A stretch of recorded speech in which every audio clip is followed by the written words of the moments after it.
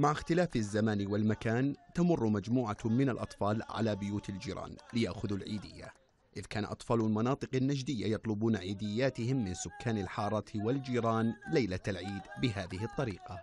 فعالية الحوامة طبعا هي موروث شعبي لمنطقة نجد وهي تتلخص في توزيع الحلويات بين البيوت ليلة العيد وأيضا أيام العيد. هي نقل البهجة الحقيقة داخل الأحياء السكنية. الحصول على العيدية يرافقه نشيد جماعي كلماته من بيت واحد يتضمن طلب العيدية مع الدعاء لأهل المنزل.